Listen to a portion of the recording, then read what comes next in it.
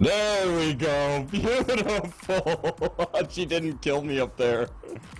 Oh wow. Yeah, Nice. that's why I was able to come down and ult, and then you were ulting on me.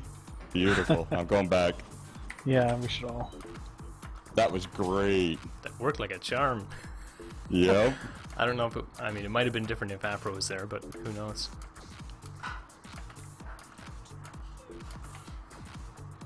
I bet I bet they're all really happy right now. yeah. No, she took me up but didn't kill me, which was nice.